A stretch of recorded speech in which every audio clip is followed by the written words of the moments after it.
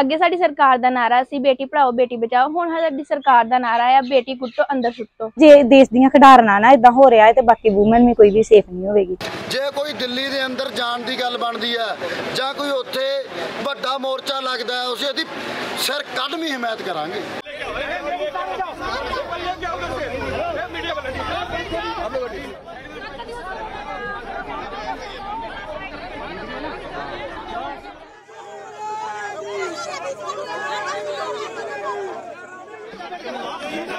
അഭിമാനമായ താരങ്ങൾ ഈ ബാരിക്കേഡിന് ആ, പോലീസ്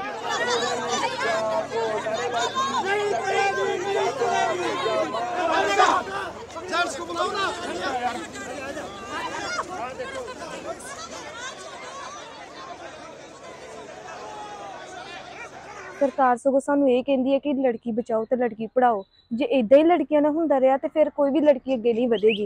ਇਹ ਚੀਜ਼ ਜਿਹੜੀ ਆ ਕੁੜੀਆਂ ਦੇ ਮਨ 'ਚ ਜਾਂ ਔਰਤਾਂ ਦੇ ਮਨ 'ਚ ਡਰ ਬਿਠਾ ਦਿੰਦੀਆਂ ਨੇ, ਜਿਹਦੇ ਕਰਕੇ ਕੁੜੀਆਂ ਅੱਗੇ ਨਹੀਂ ਵੱਧ ਰਹੀਆਂ, ਨਾ ਹੀ ਕੁੜੀਆਂ ਲਈ ਅੱਗੇ ਚੀਜ਼ਾਂ ਵੱਖਰੇ ਵੱਖਰੇ ਕੰਪੀਟੀਸ਼ਨ ਵਿੱਚ ਹਿੱਸਾ ਲੈ ਰਹੀਆਂ।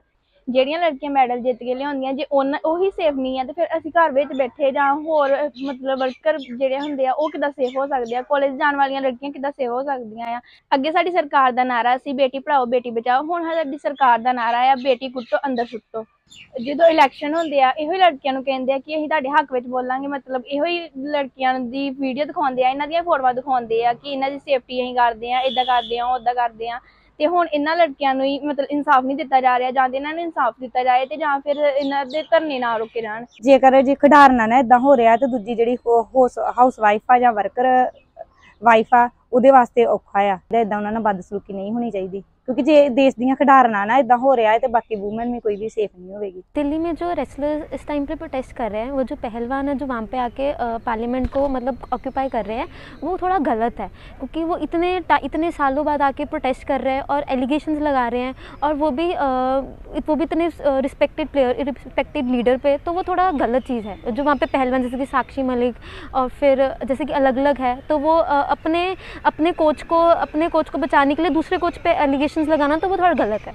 ਸੈਕਸ਼ੂਅਲ ਹਰਾਸਮੈਂਟ ਦਾ ਜਿਹੜਾ ਬਲੇਮ ਲੱਗਾ ਹੋਇਆ ਵਾ ਐਮਪੀ ਦੇ ਉੱਪਰ ਬ੍ਰਿਜਭੂਸ਼ਣ ਦੇ ਉੱਪਰ ਕੋਈ ਸੈਕਸ਼ੂਅਲ ਹਰਾਸਮੈਂਟ ਦਾ ਕੇਸ ਬਿਨਾ ਐਵੇਂ ਨਹੀਂ ਲਗਾ ਦੂਗਾ ਕਿਉਂਕਿ ਬੜੀ ਵੱਡੀ ਟਰਮ ਆ ਇੱਕ ਤੇ ਇੰਨੇ ਵੱਡੇ ਪਲੇਅਰਸ ਜਿਨ੍ਹਾਂ ਨੇ 골ਡ ਮੈਡਲਿਸਟ ਆ ਆਪਣਾ ਪੂਰਾ ਕਰੀਅਰ ਦਾ ਦੇ ਉੱਪਰ ਲਾ ਕੇ ਉੱਥੇ ਬੈਠੇ ਹੋਏ ਆ ਪ੍ਰੋਟੈਸਟ ਦੇ ਉੱਪਰ ਜੰਤਰ ਮੰਤਰ ਤੇ ਗਵਰਨਮੈਂਟ ਨੂੰ ਚਾਹੀਦਾ ਆ ਕਿ ਇਸ ਚੀਜ਼ ਨੂੰ ਕਲੈਰੀਫਾਈ ਕਰੇ।